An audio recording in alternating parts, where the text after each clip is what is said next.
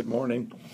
It's July the 13th, um, Sunday, 2014, and it's a wonderful day. It's the Lord's Day. I love Sunday. It's always wonderful to have the Lord's Day come, and we can look forward to church and Sunday school and fellowship with God's people. I hope you're making plans for attendance in a Bible preaching, Bible believing church. My my son-in-law Scott Kirschner um, started uh, four years ago. They're celebrating their four-year anniversary today. The Christ the King Community Church uh, in Port Orange on Williamson Boulevard at the at the grade school there. They they've rented there and done a wonderful job. Started from scratch. Has a couple hundred folks there, so that's that's wonderful. And we congratulate uh, Scott Kirschner, my son-in-law, and and uh, the family at the church there. God bless them. Now, today we're going to talk for a moment uh, about uh, humility. Oh, what a big thing.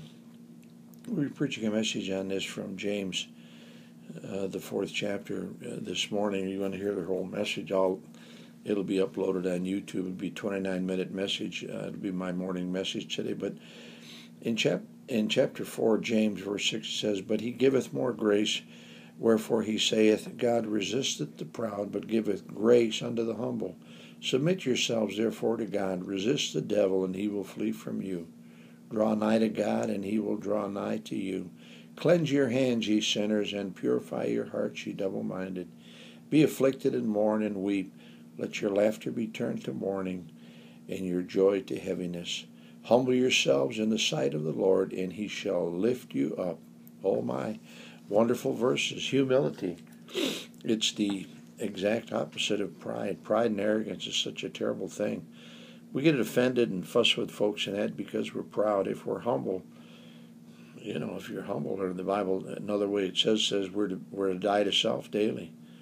Dead person, you can't offend a dead person. Someone that's humble, they're they're they're taking a lower spot. They're they're being a servant. And uh, that's what you and I should be doing humility. Well, it's the Lord's Day. Uh, we'll be having services at the Ridgewood Avenue Baptist Church, 501 Ridgewood Avenue uh, in Holly Hill. And the uh, Sunday school at 9, church at 10, and then church at 6 in the evening. And like I'd mentioned, uh, the the text for today will be James 4, and humility will be the subject. And come and visit us if you can, if you don't have a church home, or um, if you'd like to see a, a, total message on it, it'll be on on YouTube. Uh, it's it's so great. We had people saved uh, during the week at mission services, and they'll be following the Lord in believers' baptism today, and that's what it's all about. Uh, the Great Commission is reaching people for Christ. And and telling them of the Savior, and so they can be saved. It's the only answer for homeless people or troubled people or rich or poor, whatever. it's the answer for everybody.